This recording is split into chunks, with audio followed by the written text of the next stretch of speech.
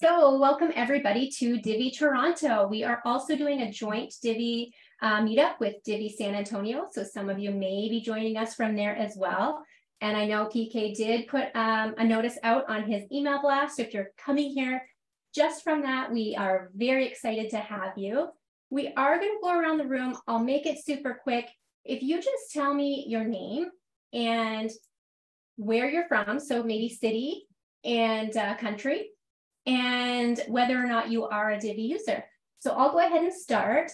I am the meetup host. Uh, my name is Susie, and I'm in Mississauga, Ontario, about 20 minutes from Toronto. So I'm just going to go ahead and go around the room. Sorry, PK, you're going to be last, um, but I will announce you and then you guys can um, go ahead and take over. So the first person on my screen, I have a Michael Southern. If you want to go ahead and tell us where you're from. Oh, you're going to take yourself off mute there. How's that? Perfect. Okay.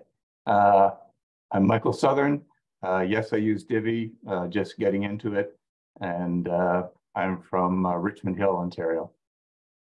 Welcome. So you're one of my locals. Yep. Okay, uh, Roddy. Hey, uh, my name is Roddy. I am from Scotland, but I am currently in Chattanooga, Tennessee. Wonderful. Well, welcome. And I have, I'm not sure here, new user.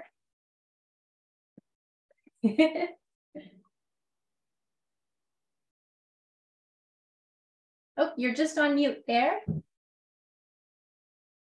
you hear me now? Yes, I can. Yeah, it's Sophia. Sophia. Yeah, Sophia, and I'm from uh yeah, I'm from Toronto, right next to you. Wonderful. Ontario, Canada. and um yeah, I've been using Divi for the last uh I guess year, year and a half, and I'm really getting into it, especially the uh, customization and the CSS.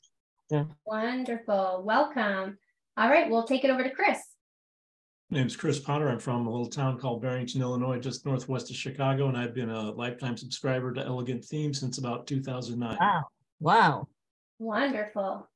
All right, Brett. Hello, Brett. I'm in Denver, Colorado, and I'm not exactly new to Divi, but I haven't really done much website building with it. So I watch plenty of tutorials and learn stuff, but I haven't implemented much. So it's always good to to be in these classes and learn a little bit more, you know, tricks of the trade. So wonderful. Thank you for putting it on. Perfect. Thank you. All right, Michelle. Good morning, Susie and everyone else. Um, I'm from Sydney, Australia, and um, I've been using Divi a couple of years. Um, my CSS skills are very limited and um, I find that I have no real um, process for it. It's sort of hit and miss and copy and paste and some things work and sometimes some things just totally frustrate me. So I'm excited about today's lesson. Wonderful. and, um, yeah, especially when I had to start using snippets in WooCommerce, that was just beyond. Lots to learn. Lots Thank to you. learn. Thank you. All right, John. Uh, hi, uh, I'm John from uh, Caves Beach, uh, which is uh, part of uh, close to Sydney. uh, I've been working with Divi for a couple of years, uh, and I think I know a bit about it. Uh, I'm just here to learn more. Awesome. Welcome. All right, Robin. Hi, Susie. Um, yes, my name is Robin. I am from the Toronto West End. And if you can make it from Mississauga to Toronto in 20 minutes, you must be flying. Uh, but um, I'm looking forward to the uh, home inspector the material, and uh, I am not a Divi user.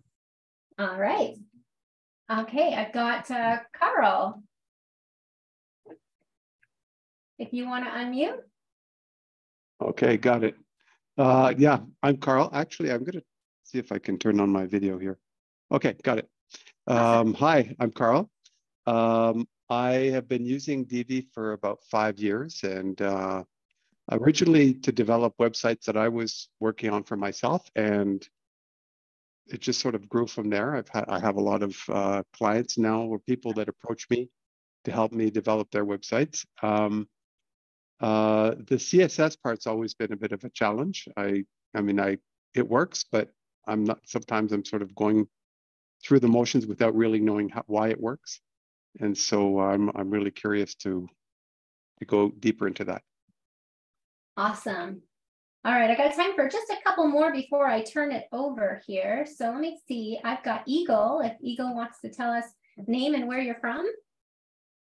Yeah, I'm uh, Eagle in Santa Cruz, California, a WordPress organizer. Uh, uh, I am a lifetime member of the, the Divi theme, but I don't really develop with it, but I do support it. I have a I do tech support for a number of developers as well as for clients. So I do support Divi and work with it. So I'm fairly familiar with it. Challenging myself mostly right now with trying to build sites with the the block editor, which is quite frustrating, but uh, always good to learn. Yes, wonderful. All right, Sue. Hi, I am here in Corvallis, Oregon. I have developed in the past in Divi. I have one client that's still using Divi. So yeah, I'm familiar with it. Awesome. And Marissa.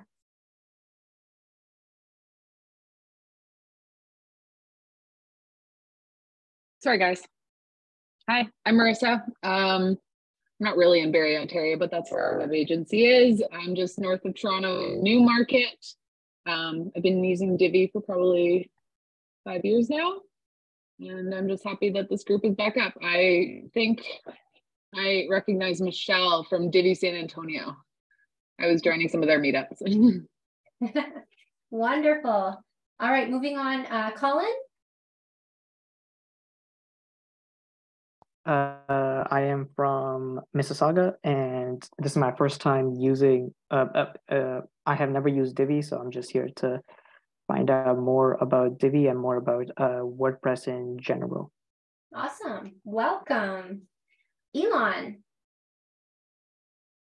Hey, Elon in uh, McKinney, Texas, which is just north of Dallas. Uh, WordPress since 2008 and Divi since uh, Black Friday of 2016, and most recently writing uh, layouts using CSS Grid. So interested in that performance. Awesome. Welcome. Eric. Mm, hi, Eric. I'm in uh, Mountain View, California. Been working with Divi about uh, four years or so. I do freelance um, websites. Wonderful. Welcome. And we'll do my last one. Nobody panic. You want to come off mute? Yeah. Yeah. Hey, everyone. Uh, my name is Dave. I'm from uh, Chicago. Uh, I've been using Divi for, uh, it's been probably four or five years. Um, I'm a freelance graphic designer, web designer. Awesome. All right. Welcome, everybody. So we'll go ahead. We'll turn this over to PK. PK, if you can tell us where you're from. I know probably majority of the people are familiar with you, with um, almost inevitable, but um, go ahead, tell us where you're from, and then I'll let you just take over the presentation. And at the end, uh, we'll do a little Q&A um, once you're finished and uh, wrap up. So I'll turn it over to you. All right, cool. Hi, everyone. Uh, my name is PK. That's just three letters, P for phone, K for knowledge. That's how I always introduce myself. Um, it's a spelling and a math joke. Uh, anyways, so um, I am. I've been. I'll follow the format. Uh, I've been using Divi since. Who was it? Someone said 2009. Around then, yeah. Same for me. Um, with Elegant Themes when they were um, releasing a theme a month, I was on board, and then um, one month they just skipped that theme uh, that month, and then that happened for a few more. Months. They came out with Divi, and I was like, oh, cool. So I started using it since then. Um, been with, been using it as my main uh, theme for all the way from 1.0 all the way to 4, Divi 4. And then I released, um, I wrote uh, so I wrote uh, what is it? a review of Divi uh, on my website, which is almost inevitable. It's changed quite a bit now, but um, after that, I I didn't like four, and then um, that was my first YouTube video that got a dislike. So, anyways, anyways, um, that that happened, and then um, uh, I've been sort of on and off for a while, uh, but um, really looking forward to Divi four and um, how it's all changing the whole platform. So that's going to be pretty exciting. Uh, I, I had a look at the preview, uh, the the as it alpha. I think they had developers alpha or something, and um, very similar. It's nothing new, but it does work a little better. So sounds exciting. Um, anyways, um, I have a lot of CSS courses here, and I work with and I develop mainly in um, CSS, PHP, JavaScript, and all that. Uh, WordPress themes are sort of like an easy uh, way to make layouts and stuff. Um, so yeah, that's that's where Divi comes in. That that's where Divi used to come in. Um, and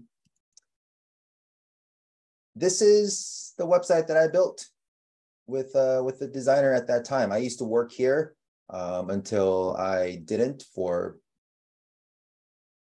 a lot of reasons. Um, so that's why I'm not visiting the site, but um, and I, I, I don't want you guys to visit it, give them traffic anyway. Uh, but anyways, uh, I built this one, so this is um here.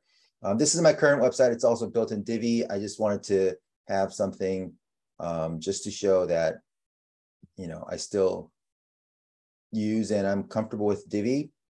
Uh, but yeah, it's a it's a fun website that you can check out um, just for fun because it's just yeah. Anyways, oh, this is the designer that I work with to make this site. That's not important, but just showing you stuff. All right, so um, that's my website. Just have a look. It's just fun. And if I click away, you can see that it says over here. So yeah, that's a little JavaScript snippet that I put in there. So yeah, that changes. Anyways, I was I was so proud that I found that. Anyways, um, so this is another site that I did. This is all built in Divi, and um, it's oh that was slow. Anyways, it's um, a lot of CSS. So as you can see, it doesn't look like a regular Divi site. It doesn't look like default Divi blocks or anything. It's um, it's because it's all done in CSS, which is why uh, CSS is so um, useful and powerful. So yeah, think I think these guys don't have, yeah, they they got rid of that custom post type that I built for them, but that's not important anymore. Uh, so yeah, um, let's get into this. So um, the original idea about this was that um, we are going to look into using the inspector and as as you can see, as you can probably see, I'm not using Chrome, right? Uh, Chrome is I can I can swap over to share something, share the share Chrome, but Chrome is, and I'm sure you're all uh, you're all familiar with Chrome, but I use Firefox, and let me just skip over to Chrome for a quick second. Um, all right, so I I don't use like full on Chrome Chrome. I use a form of Chromium, which is Brave because it blocks all the ads. Uh, because A, I don't like ads too much, and B, because um, it, it sort of there's a, there's way too much stuff going on that it sort of ruins the development um, focus for me. So that's yeah. Um, but yeah, the reason why I don't use Chrome, I'll get into later, but um, for now, uh, we'll just, we can start with um, the inspector here. Um, and it's, Firefox is easier to add your own whole, whole uh, style sheets and style things and uh, test and preview before you even put it into uh, the website. But anyways, um, I can I can go into um, introducing, not introducing, walking you through how the basics of CSS and then getting into um, how to utilize that knowledge and uh, use it on your um, development sites.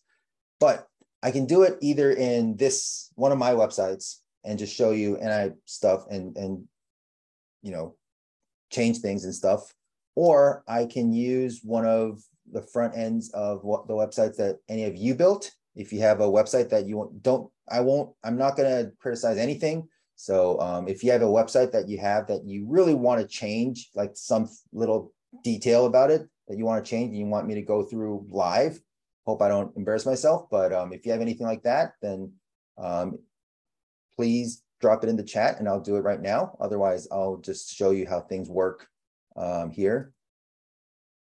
I'll just give you a minute for you to come up with that. Waiting in the chat. Yeah. Too scary for anybody to share anything or?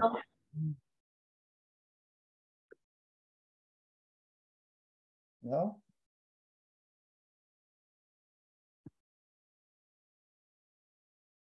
Okay. Just, oh. That's great.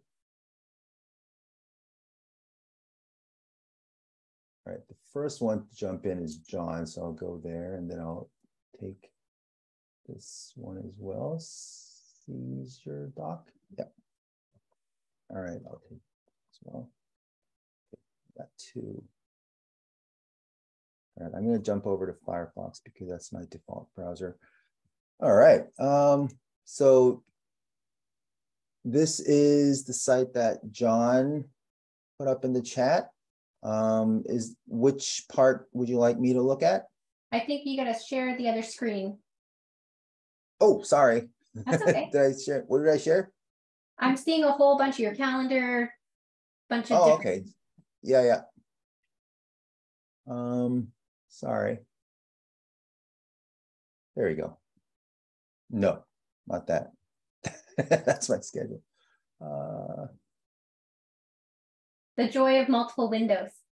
oh yeah, you have no idea. I have I have 11 desktops that I swipe through and dozens and dozens of uh, windows. All right, here we are. So this is this one has the green outline. All right. Um, got any um any part that you want us to look at, John? Not necessarily, just uh, for you to have a look at and make any suggestions that would make it better. Uh, yeah. Or yeah. improve the speed or whatever. Okay, cool, sure. Um, oh, by the way, uh, I am I live in Australia, and you can tell from the accent I did not grow up here. I grew up in the U.S. Uh, actually, um, Texas, so San Antonio and stuff. I, I grew up in Lubbock, Texas, but um, and then I lost the draw when I went up to um, Indiana and Ohio.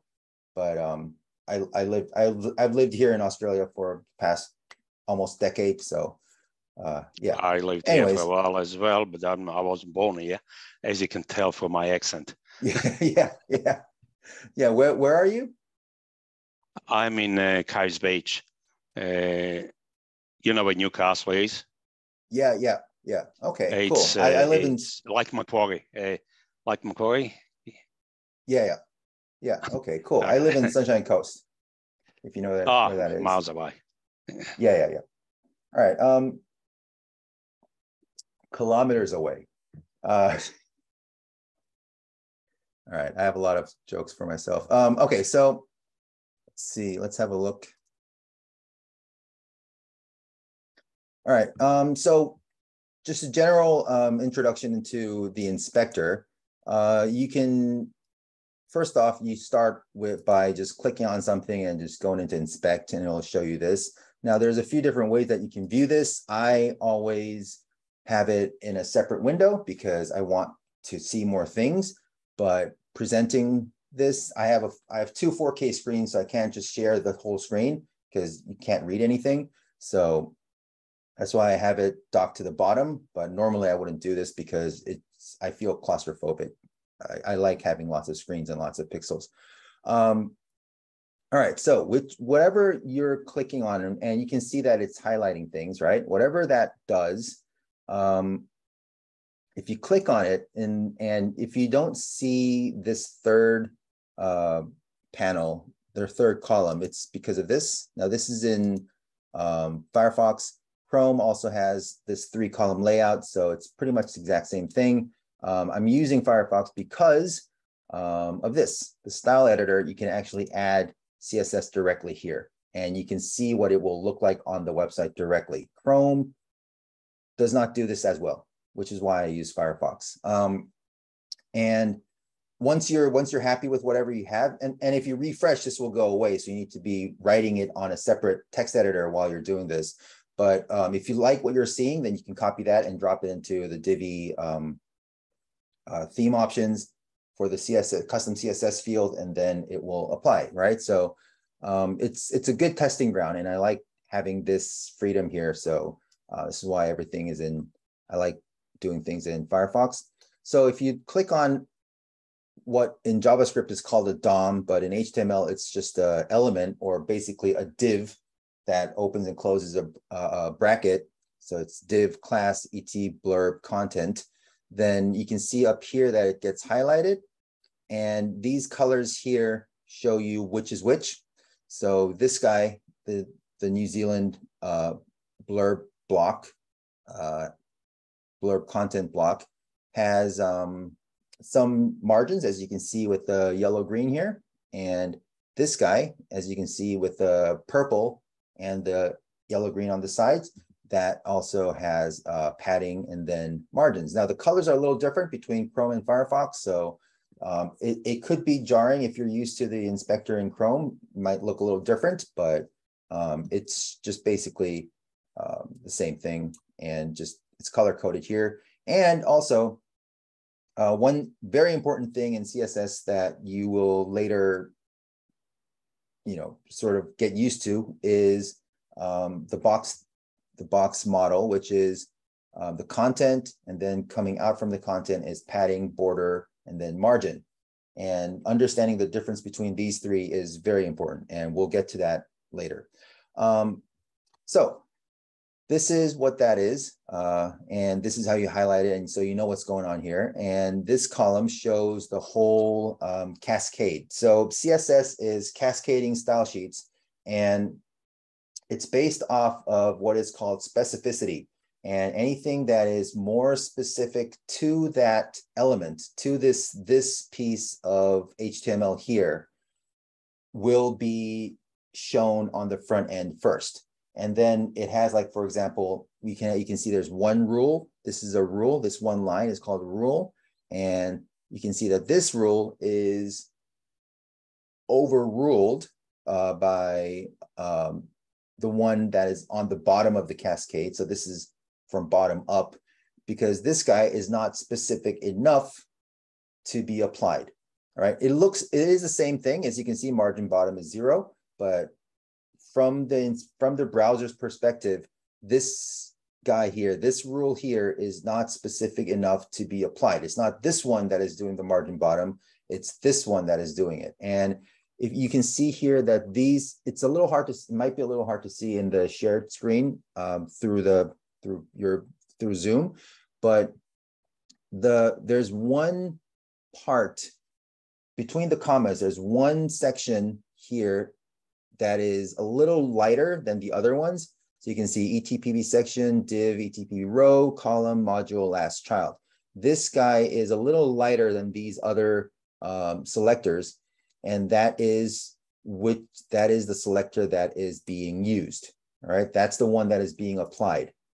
Okay, um, so here there's no there's no question which one it is, but if it's up here, then it's a little harder to see, but it's still the lightest colored one here, and the other darker gray ones are not the ones that are being applied. So um, if you need to just isolate this one person, this not person, this one element, then you don't need to copy all of that unless you want it applied globally. If you want it just on this one, then the lightest colored one, the one that is sort of highlighted is where you should be starting.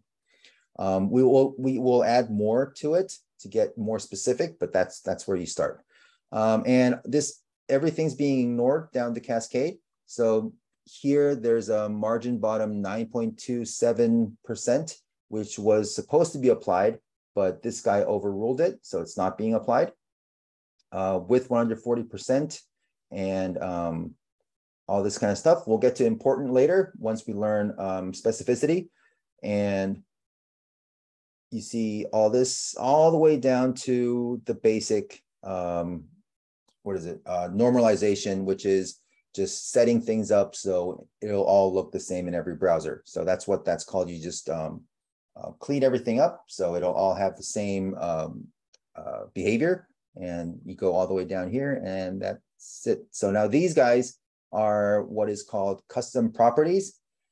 The in each rule, the left side is the property and the right side is the value. And these, as you can see, it's not anything like box sizing. It's actually double hyphen and then you write whatever here.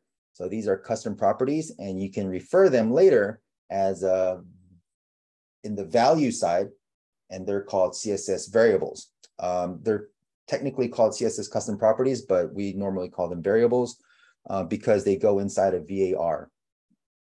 And go all the way down, keep going down, and then you see more of that stuff.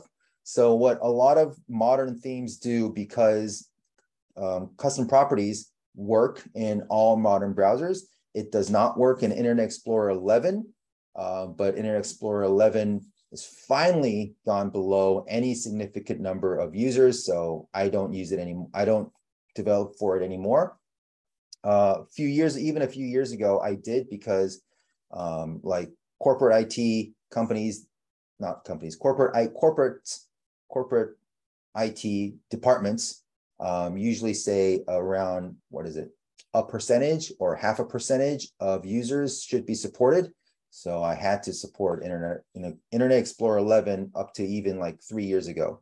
So um, people who are really gung ho and really like, you know, about Internet Explorer 11, like, oh, Microsoft killed it. Like nobody cares. People use it.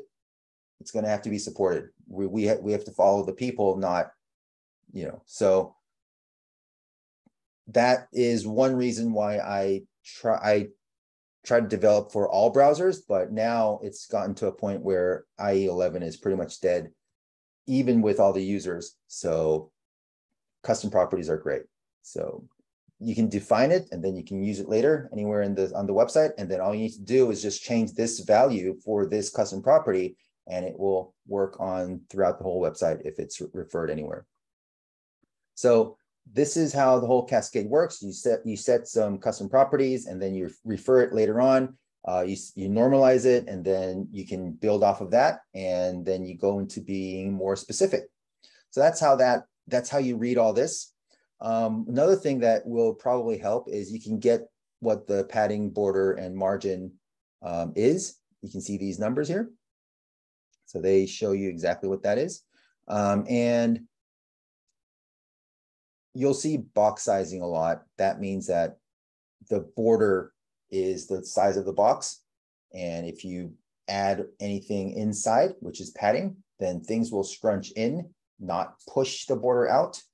Um, so that's how everything is set. So you don't have to worry too much about that. Um, so this is, pretty much what you see for this box. Um, but if you don't know exactly, for example, what the font sizing is inside this box, you go here and you get the whole list of everything that is applied. So this is everything on this box that will show on the front end and you can see the whole list. And then once you open this up like that, you actually get the cascade of everything and where it is.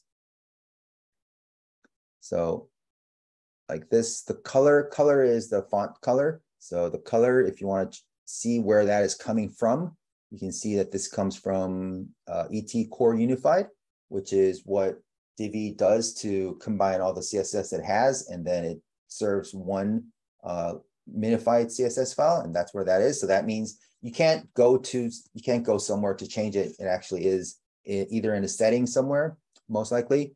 Um, yeah, and it it could have come, it could have been a blue color from the body, but that has been overruled by this guy.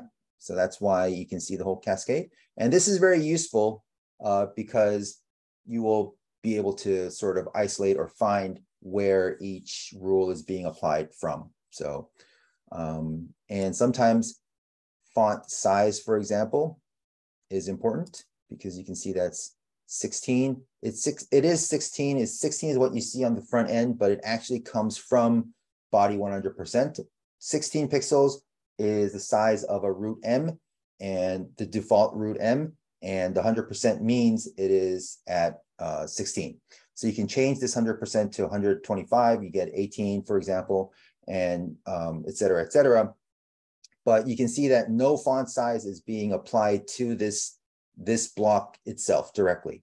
So um, that means that this is a good chance that you can actually add font size to it and everything underneath it will be um, inherited, will inherit that if, you, if it needs to, or it also can mean that you are free to go in and change these guys and there will not be much that affects it. Okay, so this can help you understand where things are and where it's coming from. APK? Um, yep. Real quick, how did you get the third column in your inspector? Um, let's go to, are you on Firefox or are you checking yeah, from yeah, I'm looking at it in Firefox, but I only have, I mean, I'm following you lick per lick here, but I don't, I'm Yeah. just curious as how, how did you get the, the third column? is definitely useful, especially when you go and hover over a Flexbox and it, it flips the flex, it was automatically flipped. Oh yeah, definitely. Yeah, because like, oh, Flexbox that's- has a little awesome. thing. Yeah, so this thing here, you see that?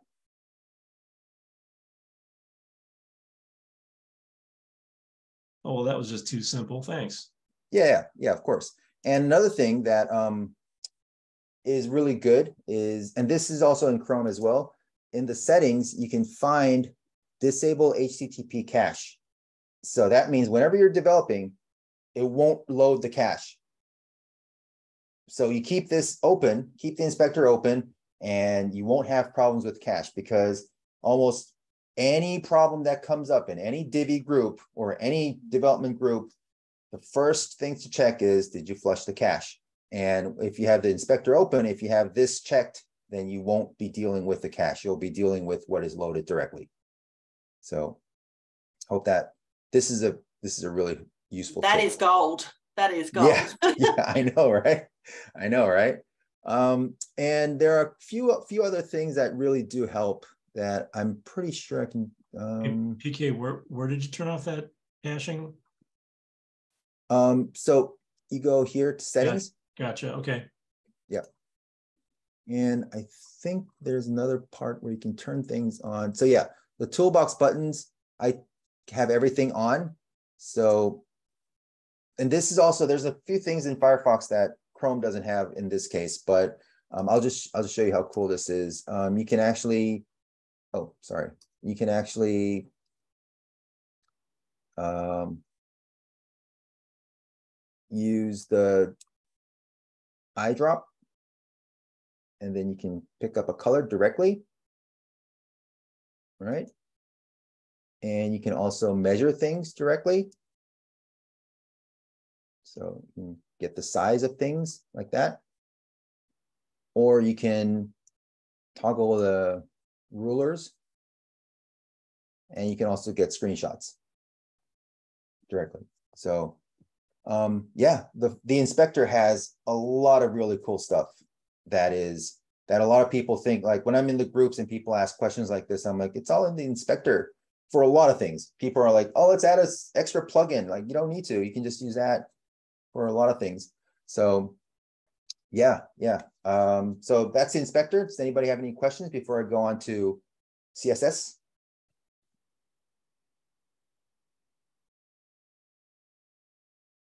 Or do I have to look at the chat? Oh, I have, there's a lot of things in the chat. Sorry, yeah. All right, I need to keep that open. Um, separate text editor. Uh, yeah, we'll get to that in a second when we talk about CSS. Um, third inspector, yeah, we just did that. Same in Chrome, pretty much. Um, the lightest color. Oh yeah, that that does work. That work the same in Chrome. So I'll I'll show you that in a second. I'll show you that now. I guess why why why wait a second. Um, sorry, I keep jumping back and forth, but um, it's because you know So yeah, you can see here, this is the, all this stuff here is gray, but that div is the only one that's light. As you can see, so that's the one that is being applied. Right? Yeah. And it has pretty much everything here as well. It has all that. You can open it up, do the same thing, see where it's coming from. Um, the, the third column opener is over here. You see? And it also has the disable cache here. Right. Yeah, so um, the Chrome inspector is also very good, uh, very helpful, but I tend to find the Firefox one uh, a little more helpful and useful. Um, yeah, okay, let's um let's open the chat, go through the question. Um CSS Chrome extension meetup. No. Oh yeah, this is just um this is just a topic for today. Um yeah, yeah, yeah, like Susie said. Um when I when I mean lighter, I mean um I don't know. Probably it is probably the the stronger color, not necessarily in a heavier weight as in bold, but um uh because I use dark mode for everything. Um it's the white text as opposed to the gray. But if it's if you're on light mode, then you would probably have the black text as opposed to the gray. So um that's I hope that makes sense. Uh okay, so let's um let's talk about some CSS. Maybe we can do it here.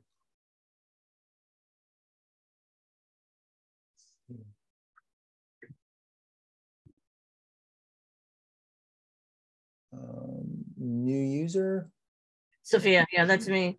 Uh, Oh yeah, hello. Sorry. about- Um, yeah, no problem. Uh, anything you wanna you wanna want me to Yeah, um, yeah, yeah, um, yeah, specifically, I have, I have, um, I didn't create this site, but I've been managing for a doctor, um, for like the last two years.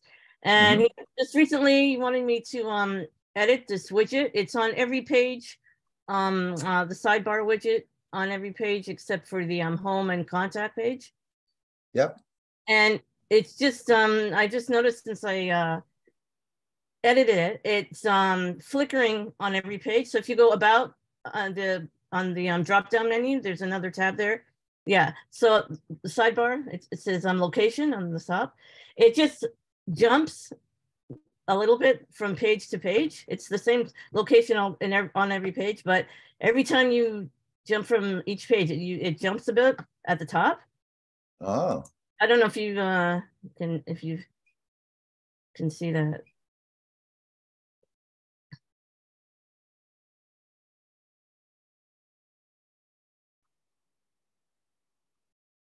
I don't know if you could see that in your view, because it's right at the top.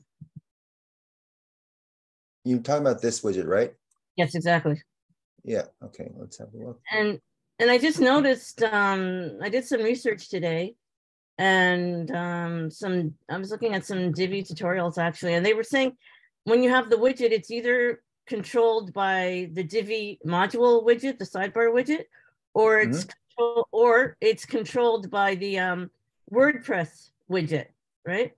And Yeah. it's it seems to me this one here is controlled by both. So the content, all the uh the text and everything is in the uh Divi um the WordPress widget. But if Mhm. you want to change like the uh, font size or the color, it's Yep. controlled it's controlled by the uh a sidebar, the sidebar which uh module in uh Divi. So I don't know if that's proper or if that's a it sounds like uh if that's a you know good uh design or web design It doesn't seem like it's a good design to have both of them together like that Oh, it's definitely better to have it in one place, right? yeah So- yeah so i don't so i'm just thinking about like i don't know if i'm gonna try and recreate it but if you if you if you even if you can fix it because it seems like such a minor thing it just jumps and it's in the same location everywhere it's also it's in a uh, what do you call it dynamic it's in the library so it's re- created only once and then it's just dropped in there. It's a global, it's a green one. No, it's a, not, it's not global, it's uh dynamic. That one is global, yeah, sorry, that one is global, yeah. I was trying to fix it, but it doesn't make a difference whether it's global or dynamic. It's still jumping and I don't know. It seems like there's not enough room there and I've tried to increase the space, the margins, the padding, and it still seems like there's not enough space when it goes in there. Right. Um, yeah, well, this is this this is more about um, the backend and how it's built in Divi and Mm. CSS, but um, we'll is it who is it? Sophie? Yeah, Sophia, sorry, yeah, Sophia. Yeah, yeah. Um, well, I, I can help you with this, but um, we'll have to revisit this because it's not Sure. necessarily about CSS at the moment. Is that okay? Um, Yeah, sure, it's just, um, I was thinking maybe increasing the margin, making it, giving it more space. Cause that's, Oh, yeah. I don't know if that's, that's why I say with CSS, because, um, I was, like I said, just watching some research today and you can customize the, um, the widgets, right? You just put the text and you can also have customized um, HTML also, right? In the, uh, in the widget. So that's for WordPress, on the WordPress side. But for the Divi side, it's like, uh, it's, uh, um, you can't, uh, do anything like just the, um, because at the bottom there, he has this, uh, WordPress feed for his social, social media, um, the, the Twitter feed. And that's only included in, that's only included in WordPress. I, um, and I wouldn't know, like, I, I tried to figure out how can you include that, like, even in a sidebar, that feed, it's specifically in WordPress. Hey, Sophia, are you building that in the old widget, you know, uh, appearance widgets, the old version or the new block builder version? I think it's the block version, yeah. Yeah, go try building it in the old version. Okay, see- so I have to, See if it works better. okay, Just a suggestion. okay, yeah, I, and I don't like the new, the whole new block builder widget thingy.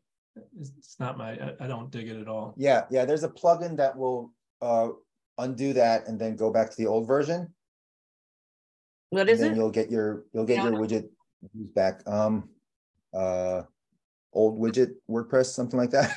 Okay, okay, okay, I'll just. Sure, I can find Um, Yeah. It's, it's, it's right, it's right next to the classic builder. It's like one of the most, one of the two most. Yeah, popular classic widgets. Yeah, because I think it was created in the classic widget and it seemed like I couldn't, uh, like I said, I tried to edit it. So I think I upgraded it, changed it back to the newer one to an upgrade, um, updated it. And, um, but it still didn't make a difference. It still didn't make a Yeah, that's, that's what I thought about it because somewhere along what WordPress five or six, when they came out with uh, Gutenberg and all that, and then the widgets, widgets changed, it messed up all, I mean, I maintained like thirty-two Divi sites and it messed up a whole bunch of widgets for me. And it took, Mhm. took a few minutes to figure it out. Okay, that's good to know. I'll try that then. Yeah. Try, yeah. Cool. Uh, yeah, and, and feel free to contact me at any time if you want to sort this out. I'll, I can help you with that. Oh, great. It's- Yeah. Yeah, I- Um, I was just gonna say, this, this isn't an uncommon problem as far as certain elements shifting like this. I, it was brought up in another Divi group we talked a while back, where there are certain elements that no matter what you seem to do, it's, it's like it's loading a portion of the CSS or, you know, later, so it, it's causing the shift. Um, and we couldn't figure it out then. I haven't had a chance to look back at it, but I've seen that shift happen in certain elements within Divi before. Um, you know, and and I, I haven't been able to figure out exactly what it is either. If you figure it out, I'd love to hear what's going on. um, so when you mean sh- things shifting on load, do you mean that it's unstyled and then it falls into the right place later? That's well, that's when we looked at that side widget there, the location one. When the when the Yeah. page renders, it it's sitting where it's it's like it's not it's not applying the top padding right away. Then it as the page renders, it recognizes or loads that CSS and then it shifts. Is what it seems Right. to be doing.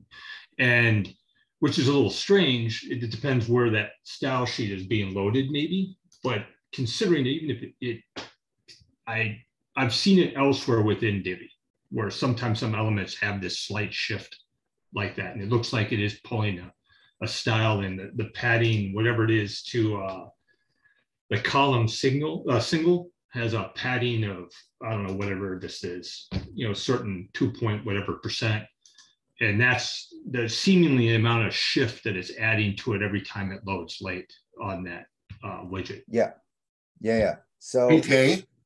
Yep. Uh, if you would read the um, uh, message I just put into chat, I, Yeah, I, I, was gonna just say that Robin here said something, is saying something about network. The, the. yeah, but this is, um, I think referred to as layout shift. And it happens to be quite important from an SEO point of view because there's a performance metric called cumulative layout shift. And Google penalizes um, a page um, depending on the sort of uh, cumulative count of layout shifts because it recognizes that layout shifts are bothersome to users. And so there seems to be a fair amount of technical material on addressing it, which is brand new to me just in the last 24 hours. So I offer that up as um, as um, um, this usual question of until you get sort of the right term for what you're trying to diagnose, it's hard to find anything relevant online. And so Oh, if- yeah, definitely. if you search for layout shift or cumulative layout shift, you'll see a whole passel of resources about how to identify it and address it. But I think that for our purposes right here, this one particular article says, as I wrote in the chat, um, go to the experience heading under under performance metrics or use dev, the DevTools network throttling feature. Uh, and in the first case, you'll get details. And in the second case, you'll be able to view it. And I've done neither of these. And so if you know where these things are, turn it Yeah, over, I turn yeah. it back to you. Yeah, yeah, sure. So, um, is it, is it Robin? Was it, Yes. is that you? Yeah, Yeah. so what Robin is saying, um, is the, uh, CLS, it's what, when you put a website through, uh, GTmetrix, it's easy to see what's happening on GTmetrix, so let's just put something safe in there. So the third, the last column, the last uh, cell in the table of the metrics that comes back from G, uh, GT is CLS, cumulative layout shift. It's a, it's a mouthful. Um, what it is, is when the site loads, it's how when the images and the text that loads and then the CSS starts changing things too much. Also JavaScript changes things as well. And when that happens, ah, I, I can't curse, but oh, look at that. Zero. You see that? Yeah. Sweet. Yeah, yeah. So um, what what it is is when the CSS loads, so it will wait like a split second for this for the initial CSS to load, but then when you start overwriting things again and again, and then have more files loading later, then it starts changing things. And then like when you're on a when you go to a page, you want to click on something, you're about to click on something, but it just moves and then you click on something else or your mouse is not at the pl- pl- place where you want it to be and it's very annoying and that is um, what you get when you have a high cls so um, it is i think it was still robin yeah so he mentioned seo which is um, which does affect seo in terms of not necessarily with site speed but all of that becomes part of the site experience. And if people are annoyed by your website, then they will go away. And that means that it has very low retention, which means from Google's perspective that your site sucks. So it's not going to suggest it as much. And that's that's what can happen if your site moves around too much. Um, we can talk about that, but that is a whole site optimization thing. So um, I really want to get into explaining some basics of writing CSS. So we'll get to that after this. Okay. Is that is that okay with everyone? Oh yeah, you're on mute. Okay, yeah, I'll I'll just do that because uh, basically it's loading in a very optimized way, and Divi has changed that a lot recently. So um, you there's a couple settings in Divi that will allow that, and it it drops the CLS to like near zero uh, if you optimize if you click on the optimizations, but um, it will cause problems if you have some legacy um, stuff and legacy plugins or anything that is not on board as or has not been optimized for Divi, and then things just clash, and then you get problems with the cascade and things loading, and then it just it can break things if Divi is optimized too much. Um, but if you if you navigate that a little well in term in using Divi settings a little better, then it will it will really help. And Divi has its own settings to drop the CLS to uh, zero pretty much. So um, we can talk more about that later. Uh, for now, uh, let's just keep going on with um, CSS because we need to talk about specificity, which is really important. It's, it's so important. So, and we're almost done with time. So it's, it's, this is an, supposed to be an hour, right? But so I'll, I'll go over that really quick. Okay. Um, so in terms of specificity, there are um, five, five layers, five, not five layers, five levels of specificity. If you try to target an element, for example, this is a div, right? So if you try to target this by writing div, okay? So for example, if we say um, div like that, then it's not going to work because this is the lowest level, right? So that's element level. And then after that, you can go into class, which is done with a dot. Now you add it into the, you add it into the HTML inside the class um, quotation marks. But um, in Divi, you go to the custom, in the module, you go to custom CSS, and then you can add a class. There are two uh, fields, one for ID and one for class. You can add that into class.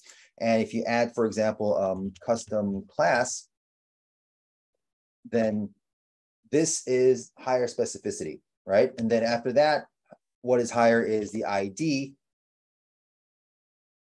And then you get, I wrote DI, uh, and then you get something that will override anything that's done in the class. Okay, so if you want something that will nuke all the classes, for example, you can see here, everything is written with, everything starts with a dot and there, there are no hashtags or pound signs or octothorpes um, here, then that means everything is done in classes. And you can see that it has, there's div.etpb row. So that means that element and class. Um, that's important because no matter how many classes you put together, it will never override an ID. So if you want something that is really, really strong, you use an ID. Okay, so you put an ID into a section, for example, which is great because you can actually have um, anchor tags that will scroll to that section if you needed to.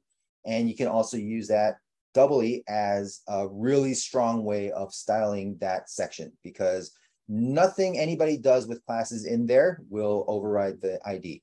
Now, online, sometimes some you see people explaining things using um, uh, parentheses and putting them in something like this. So something like that. So you, they, you see, you might see this.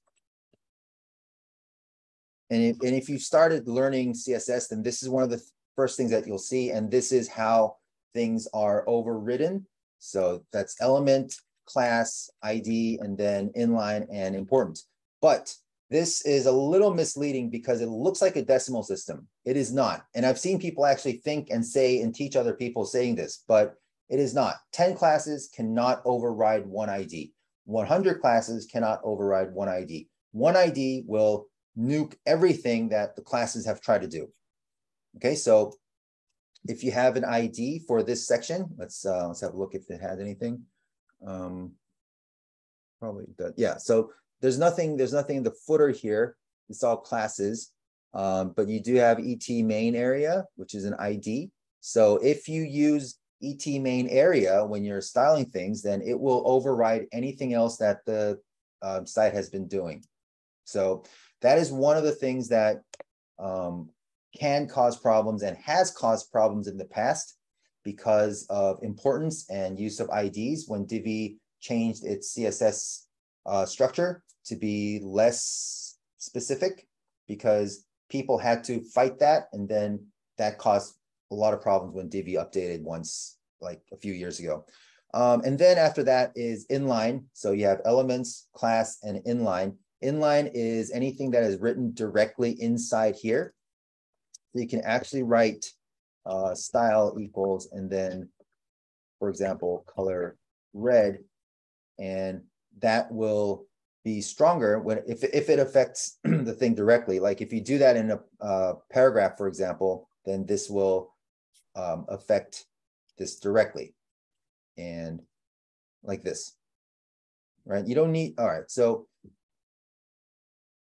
who, who did, who put, all right, so if you, after inline, the stronger one is important and important is, as, and as you know, as I just explained, any level of specificity as you go up will never override the one above it.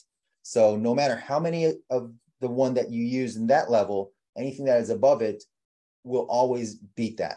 And that means that if you have an important somewhere, then the only way to beat that important is to have another important with some uh, specificity that is stronger. And this is an inline important, which means that you're never going to be able to change this unless you change it with JavaScript and go in and change this inline important thing. There's no way that you're going to be able to change the color of this span.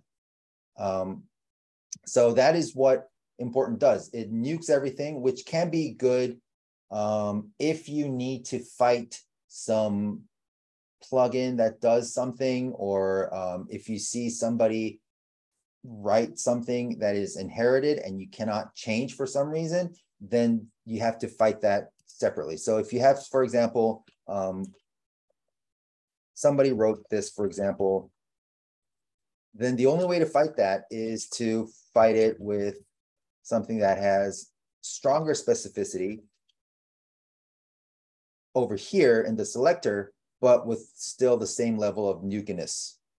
I hope that that's a word now. So it, you can still use important, but now you're fighting between the selectors, right? So that means that um, once you start, once anybody starts an important cascade, then everything from that point on will be fighting with importance and it is a huge mess later on. So uh, it's best to avoid important as much as you can, regardless of what the tutorials give you, because the two people who wrote the tutorials don't care about the CSS. They only care about having it work at that moment that you apply it on the website, which can be problematic later on. So um, you can't just copy paste it and then um, be happy about it because later on it might cause problems. So um, one thing to know about that is that important needs to be used uh, very um, carefully. Um, you can get in touch with we touch with me by um, emailing me at pk at almostinevitable.com. So that's yeah, it's the easiest way to do that. Um, and if you want to start writing your own CSS, you can and you can see here that these these things um, are not just one uh, class. You can see that over here, the footer and the blurb are stuck together. And then there's a space here between the blurb and the module header. And then there's a comma. You can add more selectors together with commas.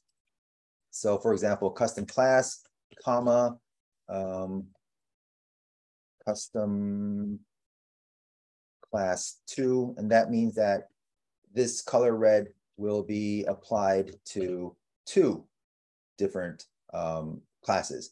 But if you have another one like this, custom div, then maybe I can make this, yeah, that's that's easier to read, right? So if you do that, then there's a space in between, and that space means that, okay, yeah, that space means that it is inside, it is nested. So if you look at this ET blurb container is the parent div of ET module header, right?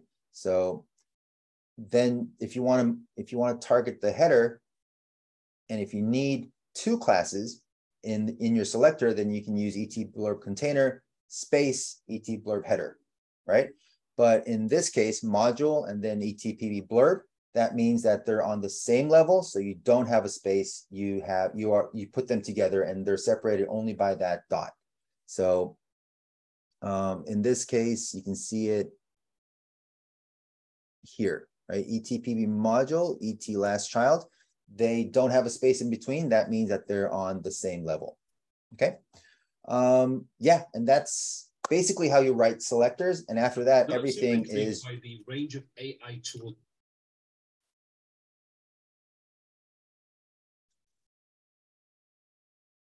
story about superior free. Yeah, I don't I that I don't know why that's has anything to do with this right now, so we can talk about that later, I think. Right? Um Jack, is that right? Yeah. Um, so yeah, that's how you write uh, selectors and that's how you write, and everything inside that are just um, here, that's just, uh, these rules are just done with uh, property and value. Um, and remember how we had um, custom properties? You can do something like that here. And we can maybe make it 20 pixels. And then now what we can do is padding variable um, custom property. And that will be 20 pixels. So later, if you need to, then you can change it to 10 and everything that uses this will also change to 10. So um, that's what that's what all that stuff down here is like this stuff is for. Okay. Um, so yeah, I think I think that's pretty much how that works. You can so you can actually do things here. I didn't I didn't target anything here, but um, you can actually do that here. Uh, and then once it's once you see what you like, then you can take that and paste it into the bottom of the Divi panel uh, in the theme op Divi options. There's a custom CSS panel there. So just drop it in there and reload it and it should work. Um, it's better to do everything in one spot than throwing everything everywhere because later e either when it's inherited or either when you are revisiting that build it's better that everything is in one spot than everywhere and hunting and clicking on everything and getting frustrated and trying to override things with uh, important and then breaking things so um yeah uh all right i think i think that's a lot of the things that I had prepared to explain. Um, the, a couple things that I think I can I can finish up with is that if you go to my website almostinevitable.com, uh, you can. I'm gonna actually have to add that, but maybe in, in a few hours, um, there is gonna be a, a crash course. I, I, think for this one actually, uh, a crash course uh, uh PDF that I can add. Um, you can visit the site later, like in a tomorrow or I guess tomorrow. And visit the site and you'll find a PDF download and it will explain exactly what I sort of explained in terms of how to write CSS uh, in a in the most basic way. And um, somebody can somebody give me a word, any word random word, just clean, please. Clean. Toronto. Toronto. Okay, so um, put in Toronto and a number between 10 and 20. 13. 13.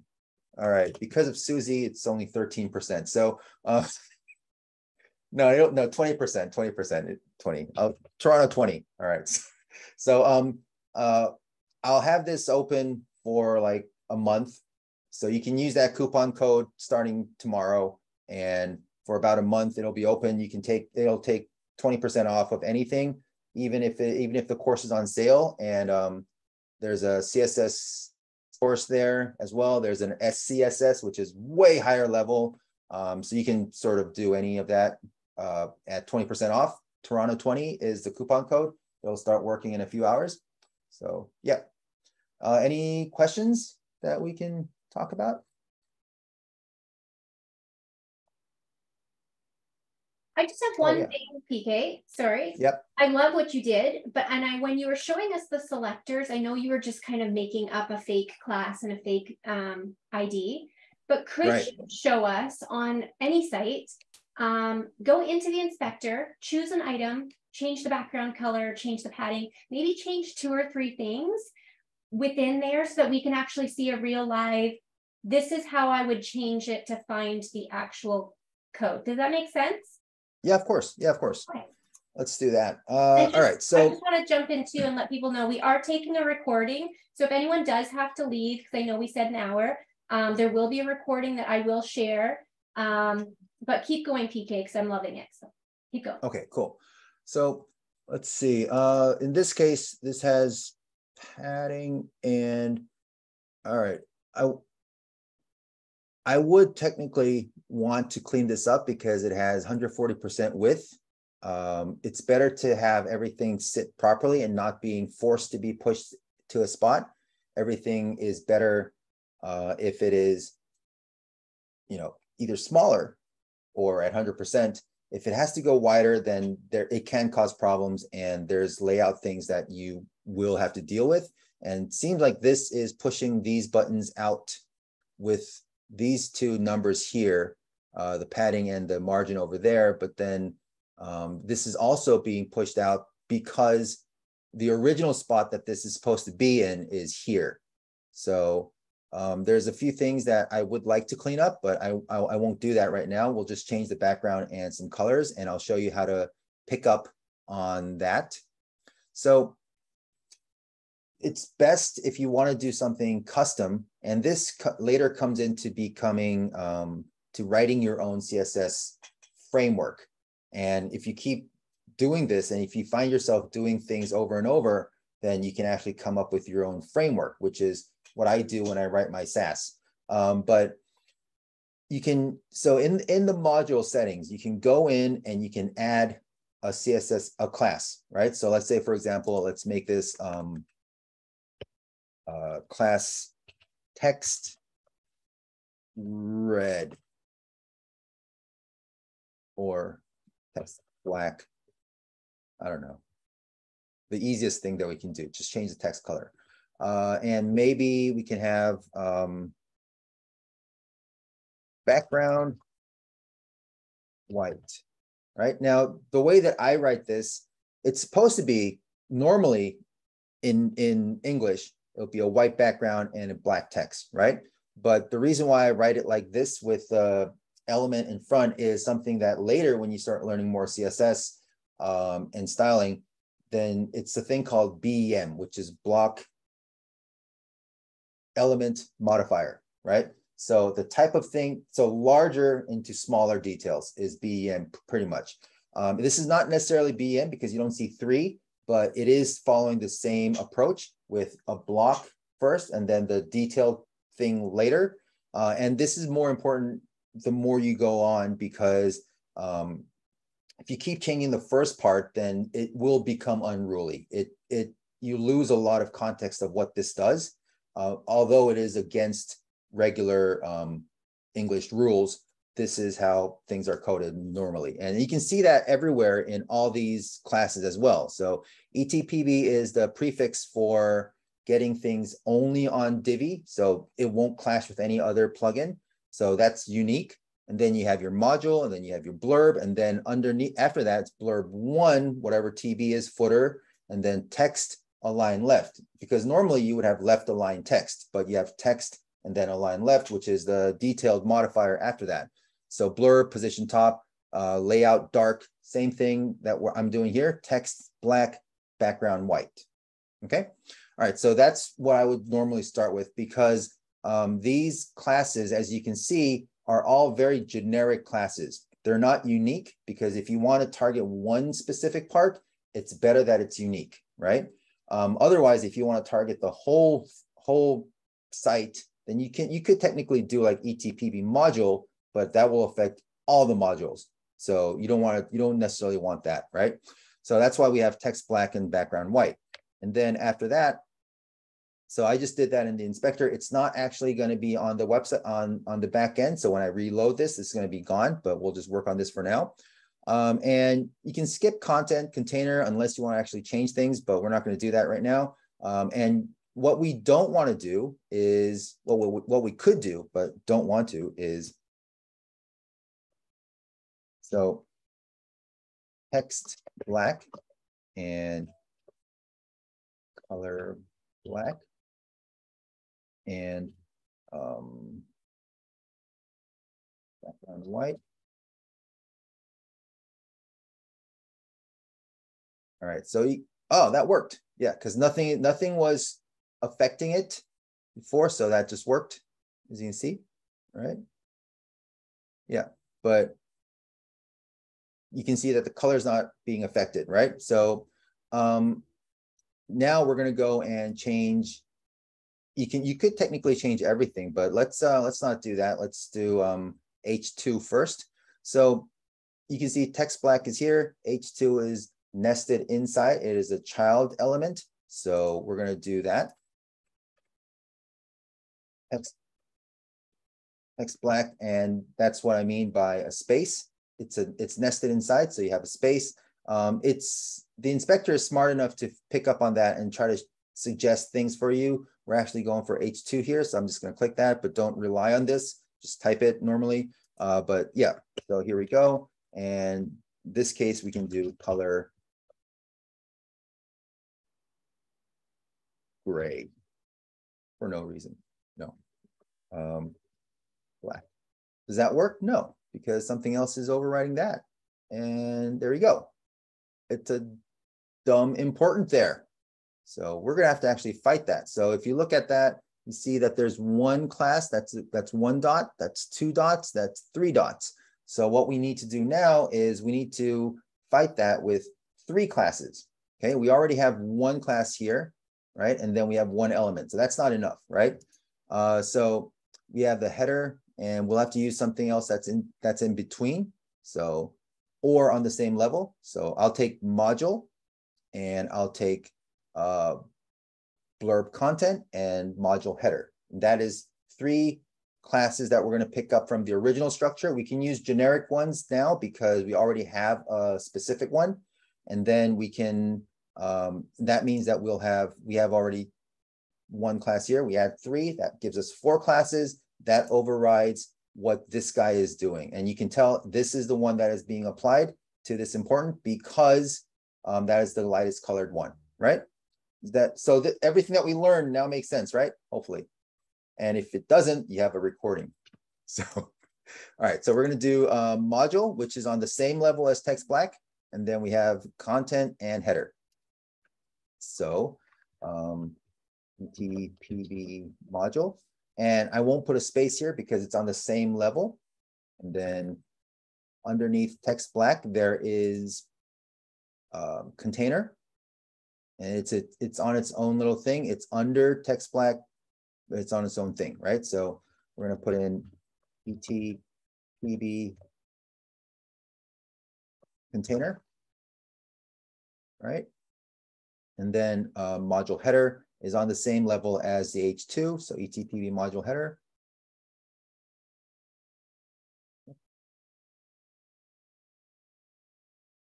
etpb module header.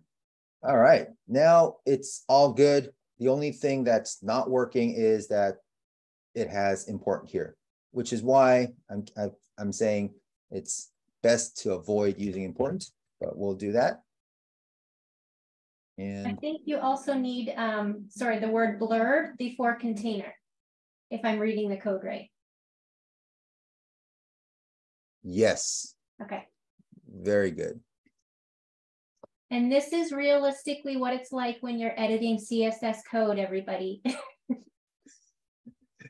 yep. And then there's like one typo that you're missing.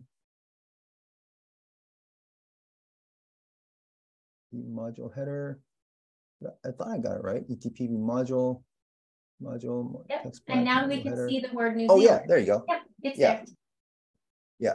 Now the reason why I, we, I, I need important here is because somebody set important here, and that means the only way to fight that is with a stronger selector with another important. Um, if it, if it didn't have that, if none of this, if it were, if we're doing like font weight, then it wouldn't need that, right? So for example, font weight. Now we don't need important for this because as you can see here, this doesn't have important, so we don't need to fight it like that. All we need to do is just make it, uh, it's, yeah, let's make it 700. So it's not a lot of difference here, but yeah. Oh, it's already 700. That's why. All right. 400. There we go. Right. And as you can see, you don't need important normally because the selectors are stronger than this one. Right. So um, we took a three class selector and made it into a four class one element selector. The one element is not important because um, it's we have three classes, but if it's three classes and then another three classes, then you would you would need that element there, right? So um, let me just show that we don't we're using the same three classes, same number of classes, so that's still three, one, two, three, but we have H2, which is only one little bit, the weakest element, but is still stronger than the three class no element selector, right? So that's why it comes on top. That makes sense? Yeah, so that's uh, what you can do. Now, another really cool trick that um, is probably useful when you're using uh, a modular class like this, which is which which can become like a framework, like I said, is the asterisk, and that is like that. That is anything. So this means anything that is nested will be color black. And as long as there are not anything else that is controlling the colors or anything, then it will be applied uh, throughout everything that's in there. Yeah. Um, yeah, I think I think that sort of explains it pretty much, right? Hey, Indy, uh, my, my email is pk at almostinevitable.com. That's my website and just put pk at in front. That's me. Yeah. Um, yeah, does anybody need any more ex explanations? I think I think that sort of explains the general process, right? So after you do this, you can put this in your Divi options um, CSS field in the bottom, and it will look the same because you know it works. It loads there.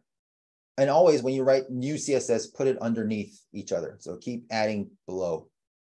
And that is general general best practice. Does that, yeah, yeah, yeah. Any any questions, anyone for PK while we're wrapping up here about what we've done so far?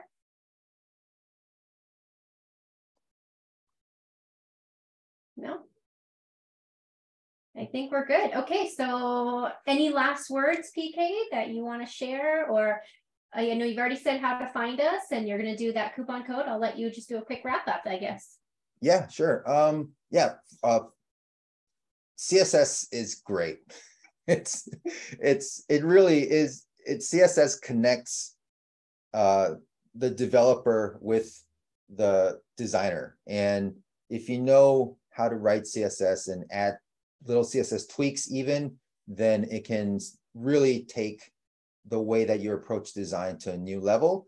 Um, but it only does not only, but a lot, 99% of CSS is how it's presented. It doesn't change the functionality too much unless like things are overlapping, which is bad. But um, it it sort of it does what design is supposed to do. Um, so CSS can't do everything, but it can make everything look uh, way better if you wanted to. So um, it's really worth having uh, that skill for now or future, whatever it is.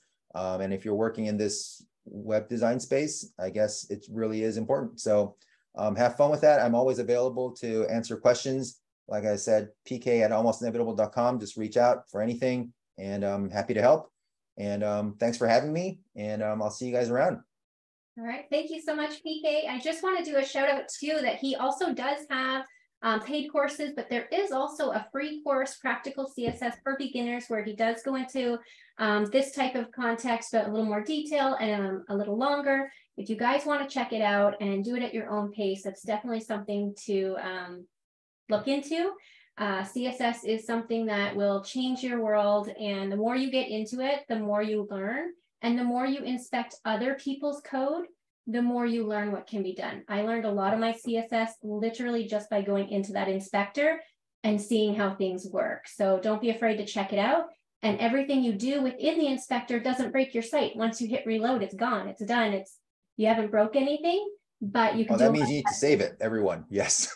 So always save it when you are editing because you're going to figure out how to fix something and then reload the page and you're going to go, where did it go? So be sure that you copy and paste it like PK said. So a huge thank you so much, PK, for uh, thank you, PK, for sharing with us today. I'm going to go ahead and stop the share, but thank you, everyone.